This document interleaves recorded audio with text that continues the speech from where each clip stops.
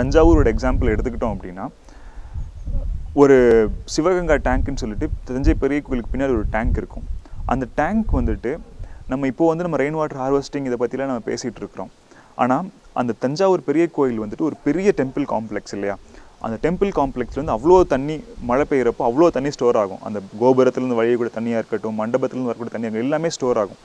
ஆனால் ஒரு பத்து நிமிஷம் ஒரு இருபது நிமிஷம் கழித்து போய் பார்த்தோம் அப்படின்னா அந்த தஞ்சாவூர் அந்த கோயில் காம்ப்ளெக்ஸ் இருக்கக்கூடிய தண்ணி வந்து ஃபுல்லாக ட்ரைன் ஆகிடும் எந்த ஒரு தேங்கலுமே இருக்காது.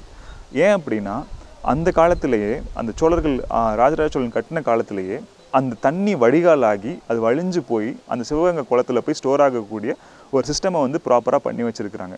அந்த சிவகங்கா டேங்க் வந்து காவேரியில் தண்ணி வரப்பவும் அது ரீசார்ஜ் ஆகும்.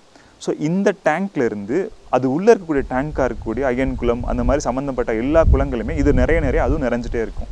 இதை கனெக்ட் பண்ணுறதுக்கு ஒரு சின்ன டெரக்கோட்டா பாட்டில் பண்ண டெரக்கோட்டா டைலில் பண்ணக்கூடிய அந்த பைப்லைன் சிஸ்டம்ஸை வந்துட்டு ஒரு ஒரு ஒரு டீப்பில் வந்து நம்ம அங்கே ஃபிக்ஸ் பண்ணியிருக்கிறாங்க. பட் இப்போ மாடர்ன் கன்ஸ்ட்ரக்ஷன்ஸ் மூலமாக அது எல்லாமே டேமேஜ் ஆகிடுச்சு வாட்டர்ன்றது கிராவிடேஷனல் புல் அது ஸ்லோப் மூலமாக தான் நமக்கு ட்ராவல் ஆகுது. ஸோ இதை நம்ம படிச்சுக்கிட்டோம் அப்படின்னா எந்தெந்த பிளேஸ்லலாம் ஹைலேண்ட் இருக்குது லோலேண்ட் இருக்குது அப்போ எங்கே கன்ஸ்ட்ரக்ஷன் நடக்கணும் எங்கே வந்துட்டு மண்டபாஸ் இருக்கணும் எந்த இடத்துல வந்துட்டு படித்துறைகள் இருக்கணும் இந்த மாதிரியான ஆஸ்பெக்ட்லாம் நமக்கு புரிய ஆரம்பிக்கும்.